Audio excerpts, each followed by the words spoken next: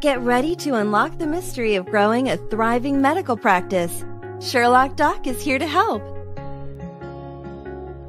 The Right College Savings Account will not only help you finance your child's education, it will serve as an enticing benefit for your medical practice employees.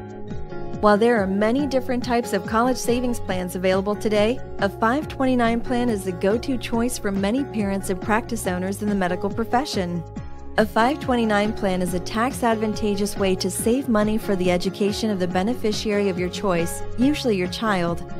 Offering this plan to your employees helps them save for their children's education and allows you, as their employer, to contribute to those savings and earn tax incentives.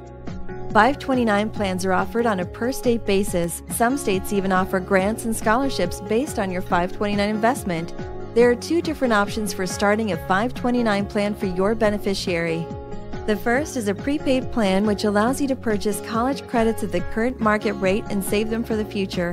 The second is a savings plan that relies on mutual funds to determine how much money can be saved in the allotted time period. Both types of plans are tax exempt for the investor. Choosing the right college savings plan is important to the financial health of your family and your medical practice. Be sure to consult your financial planner to see which 529 options are available in your state.